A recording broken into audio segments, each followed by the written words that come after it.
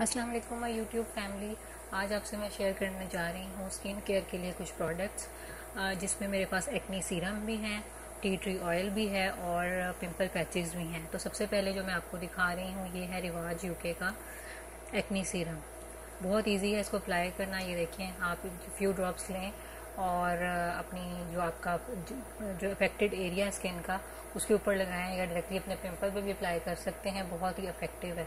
दूसरा है ये हिमानी का टी ट्री ऑयल ये बहुत ही ज़्यादा अच्छा फार्मूला इन्होंने बनाया है। इसको आप अपनी एक्नी पे यूज़ करें, ये आपकी स्किन को बिल्कुल एक्नी फ्री रखेगा। पिंपल्स को जल्दी ड्राई करता है स्पेशली जो बिग साइज़ के पिंपल्स होते हैं। सारी इंस्ट्रक्शंस और हर चीज़ इसके ऊपर गिवन है, आप इसको ज़रूर ट्राई करें। क्योंकि मौसम कुछ ऐसा है जिसकी वजह से फेस जो है उस पर पिम्पल्स हो सकते हैं। तो इसलिए बेहतर है कि फेस को कम्प्लीटली क्लीन रखा जाए।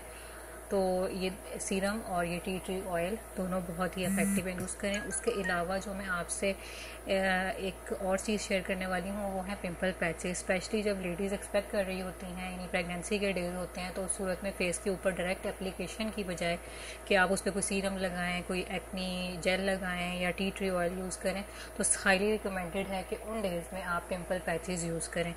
तो पहले एक ब्रांड आती थी मेरे जहन से, उसका नाम निकल गया। उनके पिंपल पैचेस बहुत अच्छे थे। ये सनी डम वालों के पिंपल पैचेस हैं, जो कि बहुत ही इफ़ेक्टिव हैं। आप अपने पिंपल के ऊपर इसको लगा के ओवरनाइट छोड़ दें तो सुबह तक पिंपल जो है वो बिल्कुल उस छोटा सा इसको हो चुका होता है। वीडियो पसंद आई हो तो लाइक करें।